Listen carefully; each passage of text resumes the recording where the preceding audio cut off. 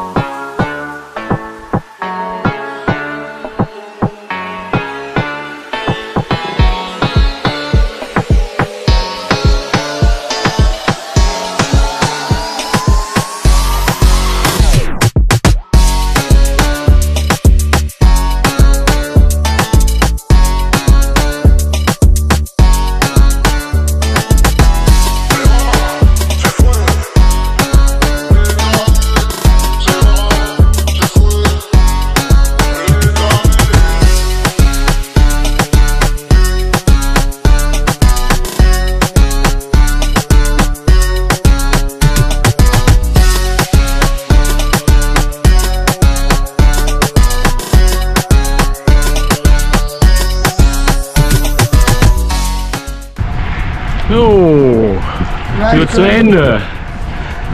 Bis nächstes Mal.